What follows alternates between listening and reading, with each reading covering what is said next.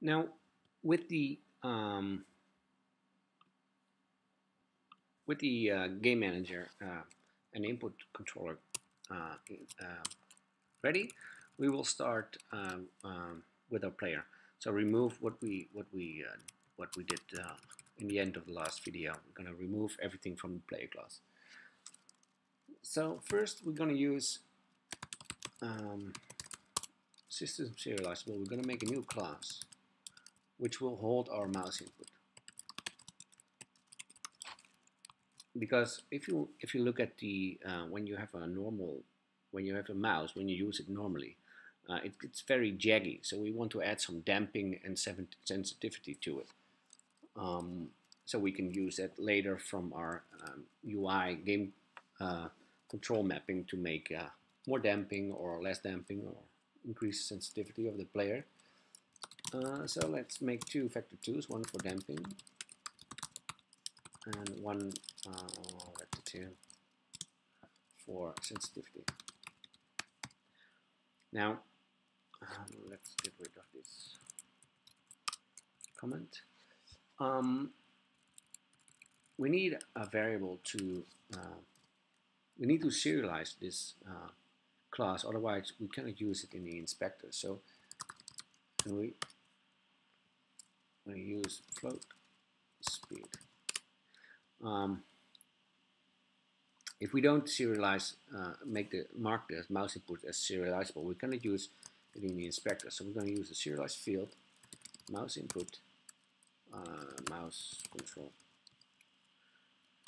There we go. So now we can access the mouse input from the from the class itself. So let's take a look.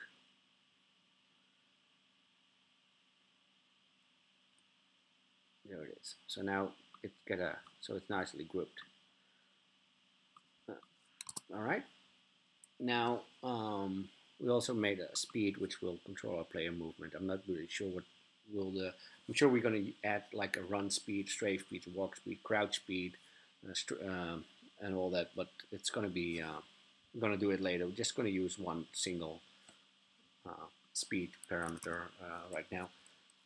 So let's make uh, a vector 2 of the direction the, the player is getting its input from. So direction, new vector 2, uh, player.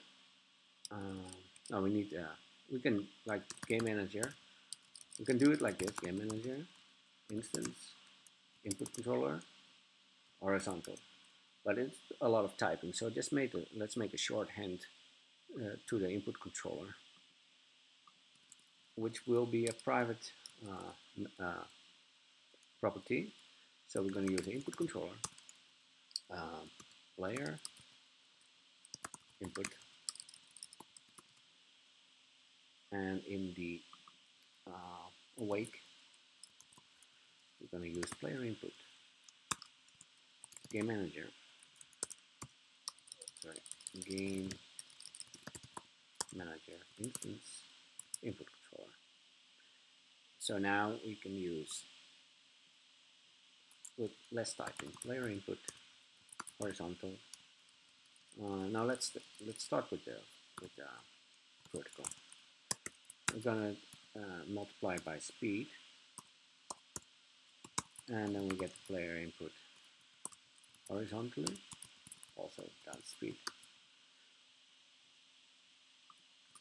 Now, now we want to move the player around. So we can, we could like move the transform in the player class, but we're going to use a different controller for it.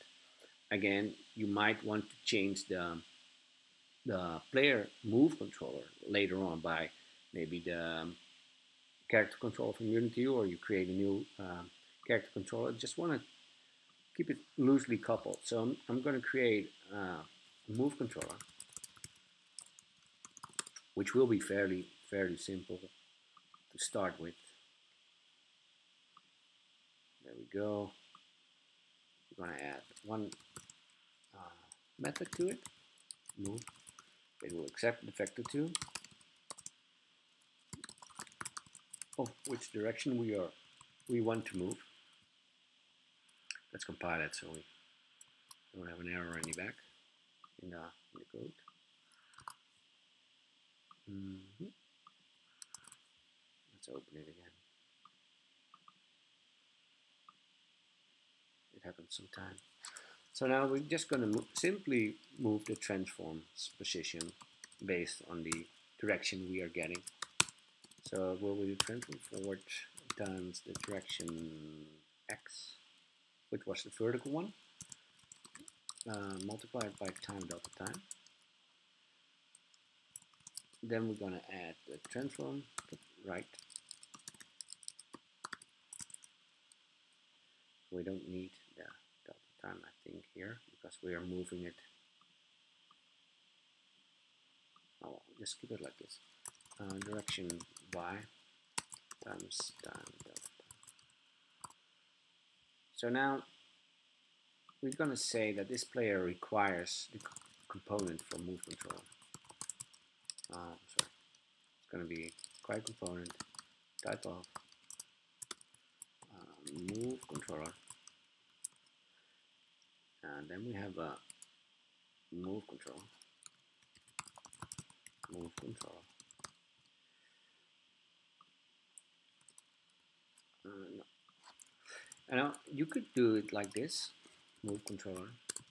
Get component uh, but we're not going to do it like this because uh, when you get uh, when you get um, we have more scripts and then you get like the uh, the, um, the script execution order. Uh, it won't matter much for this class, but it's it's uh, for me it's pref preferable to use getters for for every component which I use. So I'm going to use the private move control. Now we're going to do a public move controller because we might want to change uh, the player's input based on external uh, whatever. Maybe from the game manager, change its direction or just make it public. Uh, move controller. Get. Um, for naming sake, we're going to use it and move controller. You can name it whatever you want, but so again, check if the move controller equals no. If that's the case, get component, move controller.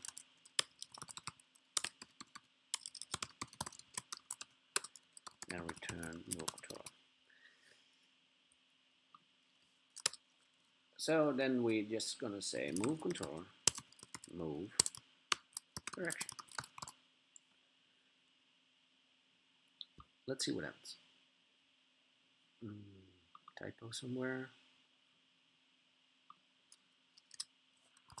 There.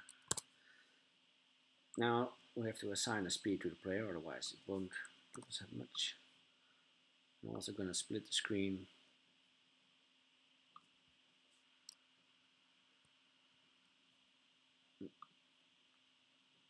What's going on? Ah, the move controller stays empty. Ah, we haven't assigned the move controller. Uh, although we said uh, requires component, if you already added the player script, it will not automatically add the move controller. So we have to add it ourselves. Now you can see what happens when we move around. Perfect.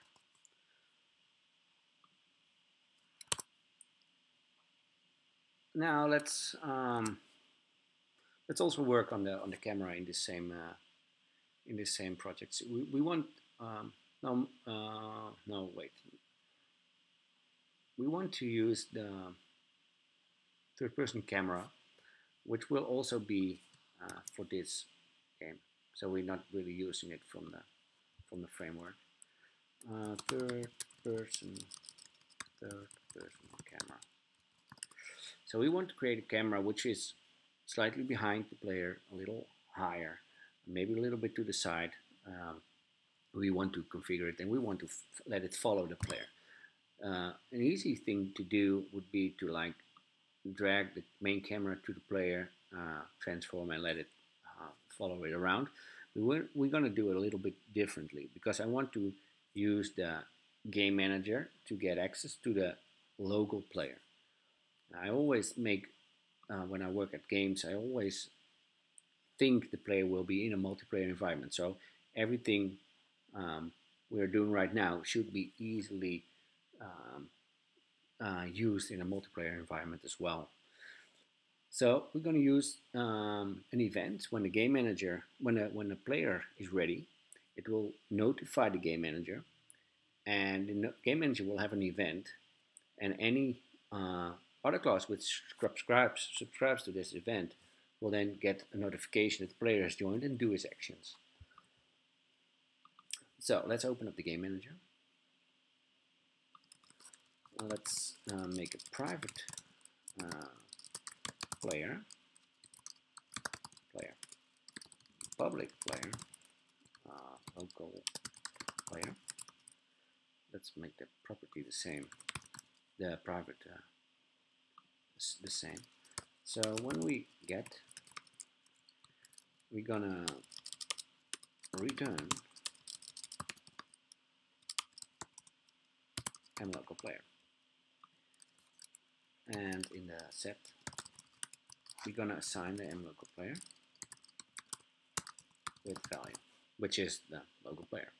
Now, now let's create an event which will be uh, invoked when the local player value is the m local player is uh, set. So let's make a public event system action. Uh, we want to know the player from the from the event uh, on local player joint. There we go. Now we're going to check if this value if this is assigned. Uh, uh, if it's if not null on local player joint. Then let's move to the player. And in the awake, let's say game manager. Instance, local player is this. Now, when the game started, when the game starts, ah wait, course, uh, like I said, um, I want to know the player when it happens. So we have to assign the local player to the delegate. Uh, all right, so now when the player joins the game, it will tell the, the game manager that the local player is me and then the then it will um, raise this event. So now let's create a, a third person camera with a reference to the in the let's do the awake game manager instance on local player joint. Then we create a delegate. You can do it like this, uh, assign uh, directly here, but we're going to use uh, a method for it it will automatically add all the the properties you will get from the from from the method. And then we say um, player. Let's make it public so we can see it in the, in the inspector when we test this out. Player. Uh, local player. Then it will be local player. Local player let's assign this script um, hmm, did I already assign it? Here we go. So I made it public right now.